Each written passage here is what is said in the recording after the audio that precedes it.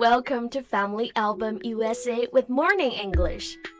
Excuse me. Uh, My name is Richard Stewart. I'm a photographer. Ten after six, we're late. But I'll be cooking tonight and dinner's at six thirty. You like living in New York, don't you? Oh, I love it. It's so convenient. 每天五分钟，和我们一起用耳朵走遍美国。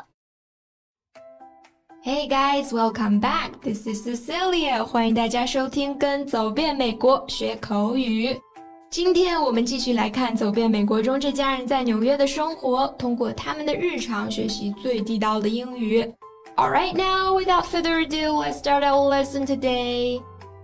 Have you watched Avengers? Well, I guess most people have. I don't know if you remember this. 复仇者联盟里面有这么一个片段啊， 就是钢铁侠和蓝妹妹在玩这个桌面橄榄球打发时间，然后呢，钢铁侠就故意让他赢了，并且在结束的时候说了一句 “Fair game, good sport”。那当时字幕翻译是“比赛公平，玩得不错”。这个 “good sport” 它翻译成“玩得不错”，到底妥不妥呢？还有没有别的理解呢？相信听完这期节目，大家就会有自己的答案了。来听今天的录音。Would you get me room service, please? I beg your pardon? Oh, I see. They don't have room service at Old Country Inn. Well, let's go down to the coffee shop. They don't have a coffee shop We can get our meals at Mrs. Montefiore's down the road. Well, that's okay, honey. I love walking in the rain. Oh, you're being a really good sport about this, Marilyn, but I think we should face the truth. What's that? So in this dialogue, the wife was taken out by the husband to celebrate their anniversary. 但是啊，他们去的这个地方要啥啥没有。 这个丈夫呢就很愧疚，但是妻子啊一直脾气很好，一点儿也没有表现出失望。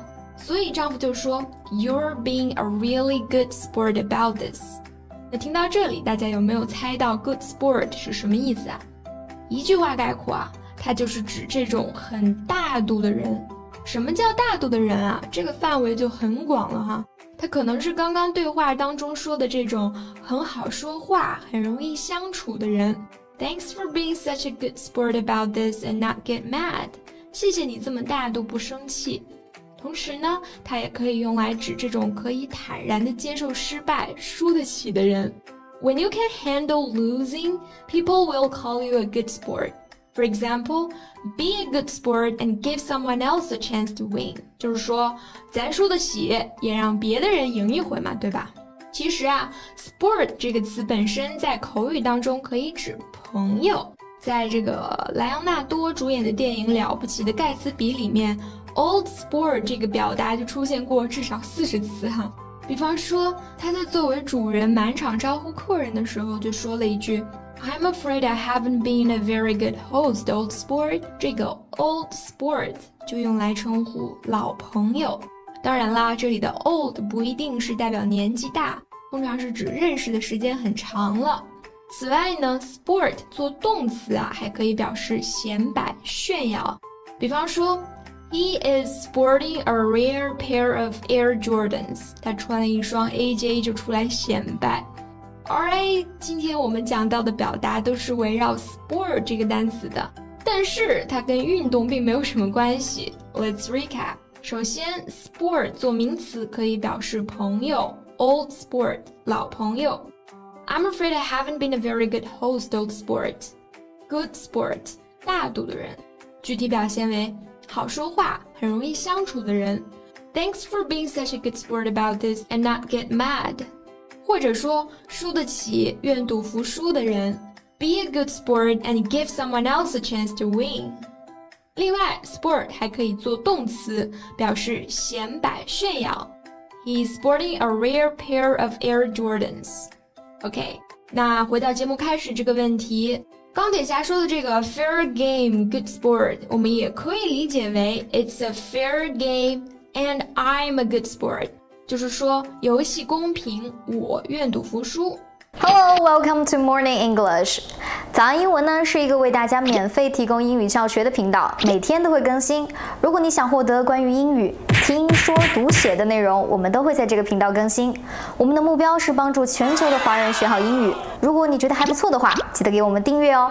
另外，点开小铃铛，这样的话就不会错过其他任何学习视频啦。对了，如果你想获取本节课的完整版笔记，在视频简介或者评论区领取哦。你也可以给这个视频点赞，点赞就相当于自动保存啦。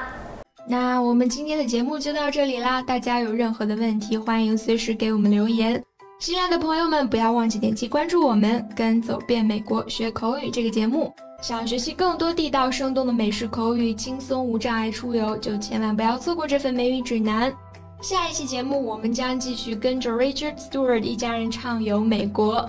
See you next time. Ciao.